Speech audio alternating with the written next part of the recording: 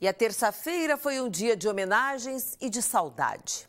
Hoje, 6 de setembro, Bernardo Uglione Boldrini completaria 14 anos de idade se estivesse vivo. Familiares e amigos não deixaram a data passar em branco. Jussara Uglione, avó de Bernardo, carrega no peito a foto do menino e a saudade eterna. Dói, dói.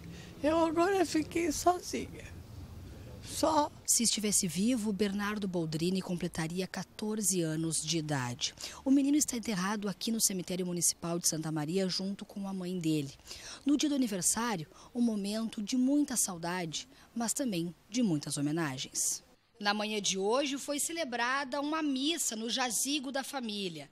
Representantes de grupos de orações de todo o país prestaram homenagens. É uma forma de manter a memória dele né? Porque foi uma coisa muito, muito chocante, muito brutal, né? Eu acho que todo esse Brasil está aqui, junto com nós, junto com vocês, sempre.